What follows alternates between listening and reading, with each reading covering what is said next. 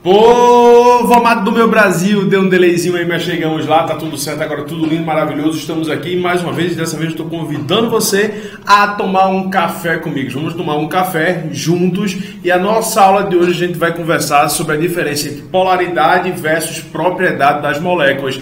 Garanto para você que você tem a encontrar na tua prova vestibular de duas a três questões em qualquer prova que você faça.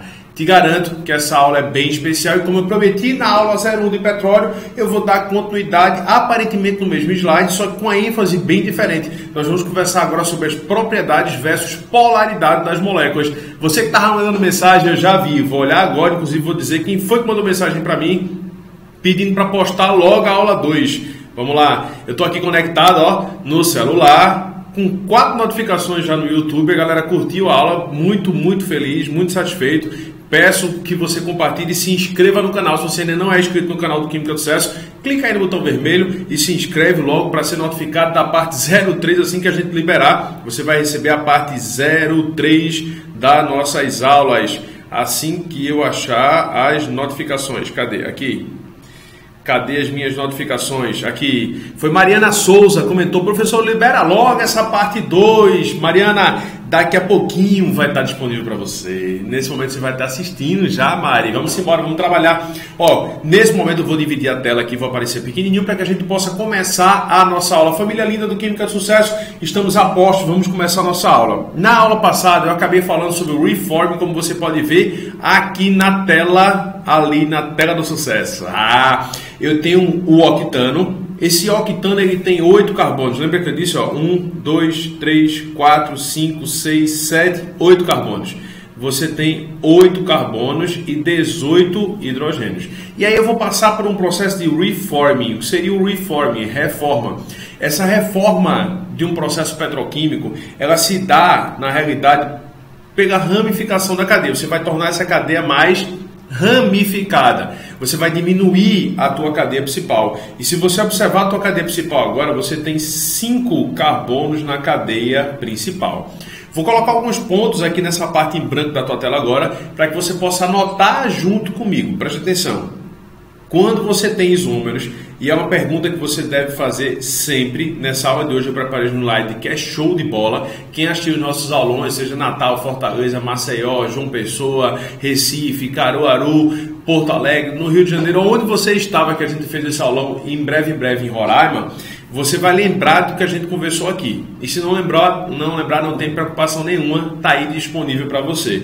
E você, família química do sucesso em outro local, em outra cidade, acompanhe agora. Nesse caso eu tenho isômeros. O que são isômeros? São compostos que apresentam a mesma fórmula.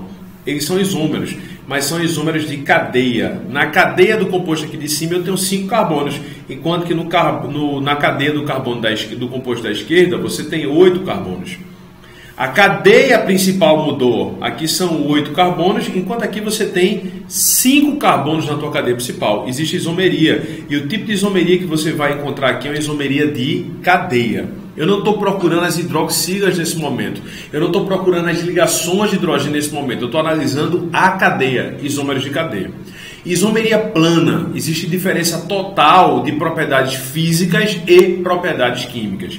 Quais são as isomerias planas? Lembra? São cinco casos de isomeria plana. Deixa eu puxar aqui a tela cheia para você. Tem cinco casos de isomeria plana que você não pode esquecer. Você tem a isomeria de cadeia, a isomeria de posição, a isomeria de função. Mudou a função, mudou a cadeia, mudou a posição a metameria, que é um caso particular da isomeria de posição, que você só muda a posição do heteroátomo, metameria ou compensação, e a tautomeria, que é uma espécie de isomeria de função, mas você tem reação reversível. Reagente forma produto, produto forma reagente. Segura só um instantinho aqui que eu vou melhorar um pouquinho essa qualidade desse vídeo para vocês, porque está errado. Agora melhorou sensivelmente. Estava enxergando bem, agora uou, estabilizou. Pronto, deixa eu só melhorar mais um pouco é tudo ao mesmo tempo e agora, como a gente está produzindo muito, perdoa aí esse deslize desse tio Carlos André. Mas a equipe do Química do Sucesso me abandonou. Eu estou sozinho porque ninguém está querendo pegar conjuntivite. Mas meu olho está quase bom, ó. Estou voltando ativa sexta-feira, se Deus quiser. Galera, vamos pegar junto, chegar junto aí, pesado.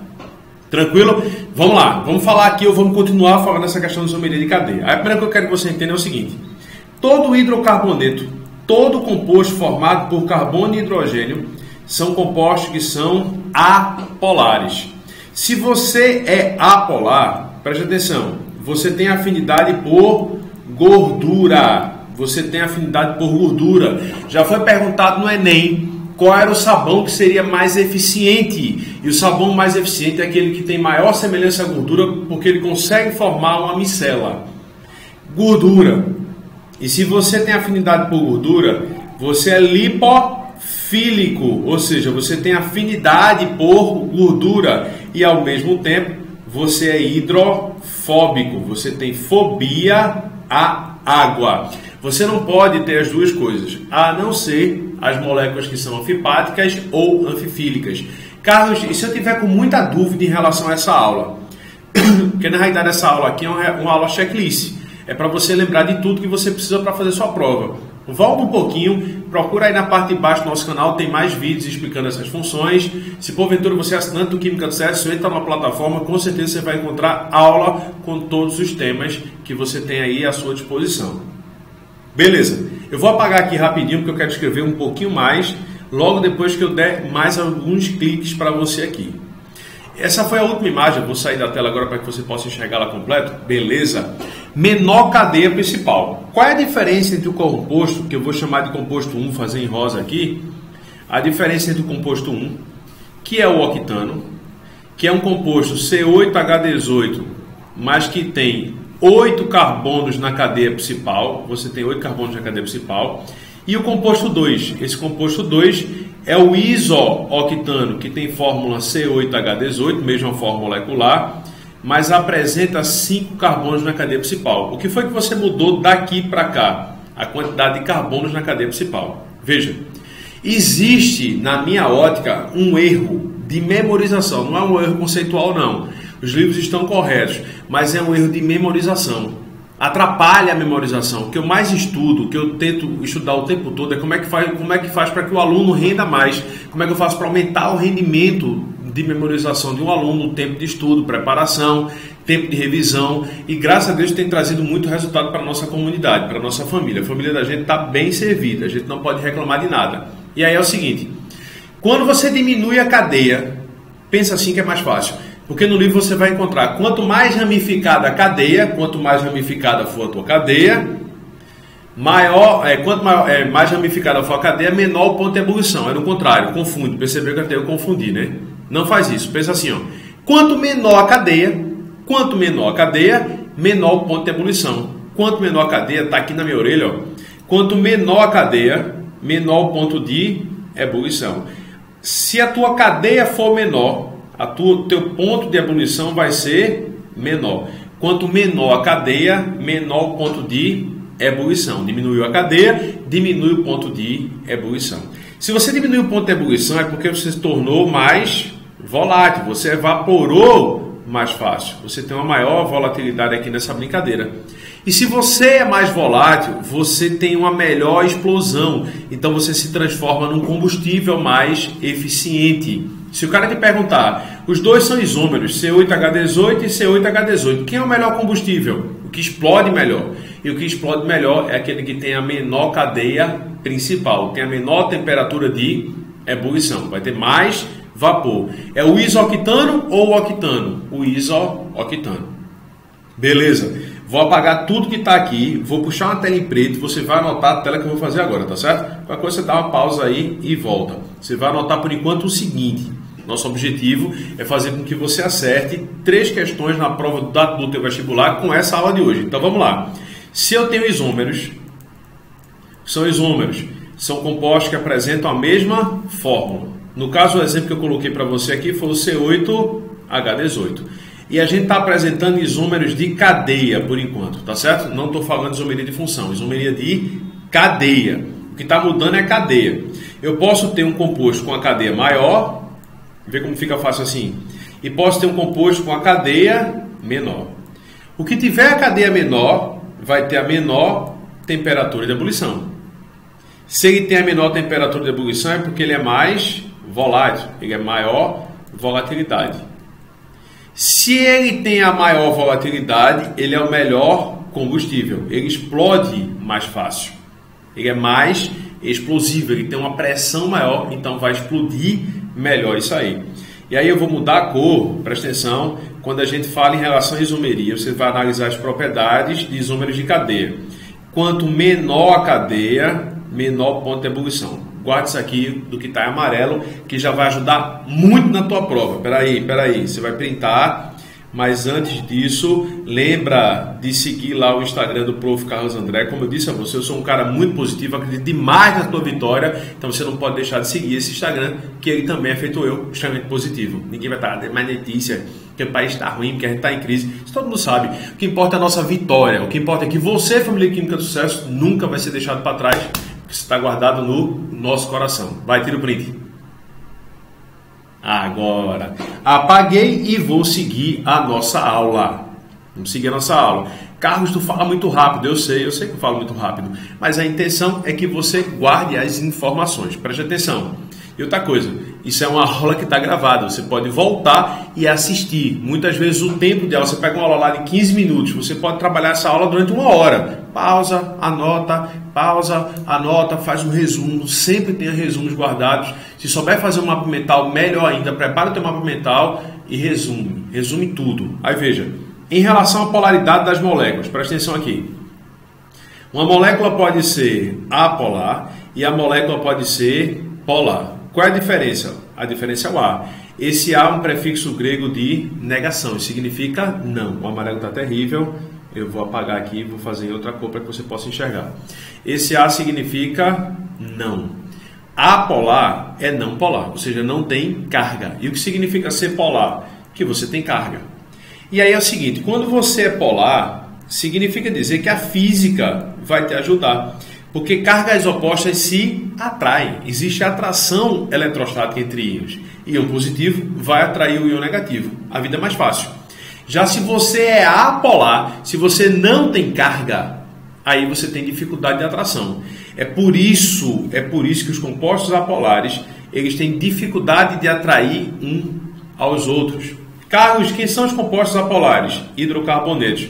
Lembra que os hidrocarbonetos são compostos, em geral ou sempre, apolares. Em geral, eles são derivados do petróleo. Compostos derivados do petróleo são, em geral, hidrocarbonetos e são apolares. Se eles são apolares, quanto maior a cadeia, mais apolar ele fica. Quanto maior a cadeia, mais solúvel em gordura eu posso representar assim também. Ó. Se a tua questão for uma questão puxando para bioquímica, que acontece porque a prova do Enem, por exemplo, é a prova de natureza, química, física e biologia. Esse composto apolar, ele vai dizer que é semelhante à gordura. O composto apolar, ele é semelhante à gordura. Deixa eu fazer em cores diferentes o polar e o apolar aqui para você me acompanhar. Bem legal. Já o composto, deixa eu colocar em rosa. O composto que é polar, o composto que tem carga positiva e negativa, que a física ajuda, ele é semelhante à água. O que é semelhante à gordura? Ele é lipofílico, lipo é gordura, filia é afinidade. Então, lipofílico significa ter afinidade por gordura. Numa prova de biologia, você pode dizer que um composto que é apolar, ele é lipofílico. E se você é polar, se você tem carga, você é hidrofílico. Presta atenção. O que significa ser hidrofílico? Ter afinidade por água. Quimicamente falando, significa dizer que você é polar. Todo mundo que tem afinidade por água não curte gordura. Assim, é uma coisa ou outra. Você não pode torcer pelo Flamengo e curtir o Vasco. Torcer pelo Vitória e curtir o Bahia. Torcer pelo Internacional e curtir o Grêmio. Torcer pelo Santa Cruz e curtir o esporte. Não rola. Ou você é pó ou você é apolar. Não, mas tem aquele cara que é do meio termo. É, mas isso é exceção. Então decora o seguinte, ó. Tudo que tem afinidade por água, que é hidrofílico, vai ser lipo. Opa, eu escrevi errado aqui, perdão. Se você é hidrofílico, você vai ser lipofóbico. Você vai ter fobia à gordura. Minha letra está feinha, mas agora está correto. Você é lipofóbico. Já se você tem semelhança com a gordura, vamos lá. Se o cara tem semelhança com a gordura, significa dizer que ele é lipofílico. Ele vai ter afinidade por gordura. Consequentemente, ele é hidrofóbico. Ele tem fobia à água. Beleza? Tá meio bagunçado, mas você está me acompanhando. Quem são os compostos apolares? Em geral, são hidrocarbonetos, derivados do petróleo. E quanto maior a cadeia, mais solúvel em gordura. Melhor para eles. Em relação à polaridade, em geral você tem compostos que são iônicos. Deixa eu fazer aqui em rosa de novo. O que é uma ligação iônica? Quando você tem um íon positivo que está se atraindo do íon negativo. Ou quando você apresenta ligações de hidrogênio. Carlos, eu não sei o que são ligações de hidrogênio. Veja, se você assiste em seriado, se você assiste, eu sou fã de Arrow. É assim, eu acho fantástico Arrow. E Arrow é um caçador. Você também tem que ser um caçador na sua prova. Só que você vai caçar as ligações de hidrogênio. Eu nem sei o que são ligações de hidrogênio. Eu vou te mostrar agora qual é a diferença entre uma vitamina solúvel e uma vitamina insolúvel. Me permita, por favor, durante esse vídeo, conversar com você agora sobre essa questão das vitaminas e essa questão da solubilidade. Veja, primeiro eu vou falar sobre ligações de hidrogênio, que isso faz muita diferença. Casse essas ligações de hidrogênio. Você vai caçar as ligações de hidrogênio. Carlos, o que são ligações de hidrogênio? Quando você tem hidrogênio ligado diretamente a flúor, a oxigênio ou nitrogênio. Pega a tua mãozinha e faz um símbolo assim, FON, hidrogênio ligado a FON, hidrogênio ligado a FON, hidrogênio ligado a FON. Se o hidrogênio estiver ligado diretamente a flúor, o hidrogênio está ligado diretamente a flúor, a oxigênio ou nitrogênio ele forma ligações. Isso torna muito característico ou solúvel em água. Presta atenção. Composto que apresenta grande quantidade de ligações de hidrogênio. Quanto mais ligações de hidrogênio você tiver, melhor para o composto. E como é que você identifica se o teu composto tem ligação de hidrogênio? É assim, ó. Tem hidrogênio ligado ao oxigênio? Tem hidroxila no teu composto? Característica de água. Tem hidrogênio ligado a nitrogênio, por exemplo, uma amina, característica de solubilidade em água. Tem hidrogênio ligado a flúor, que aqui não vai formar mais nada, por isso que dificilmente você vai ter um composto orgânico formando ligações de hidrogênio com flúor, característica semelhante da água. Então você vai fazer o seguinte: chegar na sua vai procurar os compostos orgânicos. Como é que eu sei quais são os compostos orgânicos? Tem uma foto lá, bem grande. Dentro dos compostos orgânicos, você vai procurar saber quantos carbonos e quantas hidroxilas. Pergunte quantos carbonos o teu composto tem. Quantos carbonos o teu composto tem? Quanto mais carbonos ele tiver, mais apolar. Lembra que hidrocarboneto é apolar. E quanto é a cadeia, Carlos? E se eu perguntar em relação à cadeia? Peraí. Se ele te perguntar em relação à cadeia, perguntou em relação à cadeia carbônica. Quanto maior a cadeia, quanto maior a cadeia, mais apolar. Certo? Isso é característica de ser composto apolar. Aumentou a quantidade de carbonos ou aumentou a cadeia, mais apolar você fica. Já se você encontrar hidroxilas ou grupamento amino, isso vai dar característica semelhante à água. Então vai tornar o teu composto polar. Vou voltar para a tela, que eu preparei um slide agora que ele é simplesmente espetacular. Esse slide é o que você vai ter que guardar no seu coração, tá certo? Mas guarde com força. Eu não quero errar nenhuma questão na minha prova sobre questões de química orgânica, propriedades da matéria. Esse é o slide que você vai printar no final dele, mas tenta me acompanhar aqui, se precisar você volta e assiste novamente, beleza? Primeira coisa, localize a molécula. Carlos, e como é que eu vou localizar a molécula? Tem imagem. Ah, vai ter uma molécula lá bem grande para você, então você consegue localizar essa molécula. Segundo, acompanha. São isômeros. A gente já conversou sobre isso hoje. O que são isômeros? São compostos que apresentam a mesma fórmula. Se eles forem isômeros, eles têm quantos carbonos na cadeia principal? A cadeia tem 8, tem 5? Quem tem mais carbonos na cadeia? Tem ramificações na tua cadeia? Essas perguntas vão responder a primeira parte da aula. Se você lembra quando eu fiz o processo de transformação do octano em isooctano. Como assim, Carlos? Vê se você não vai lembrar agora. Guarda agora aí, vê, vê que show. Lembra disso aqui?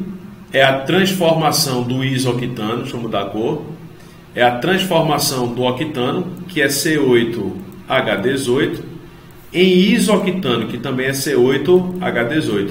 Esses compostos são isômeros? Tem, são. Quantos carbonos ele tem? 8. Só que esse aqui tem 8 na cadeia principal, enquanto esse aqui tem 5. Então existem ramificações. E aí já no pai bola.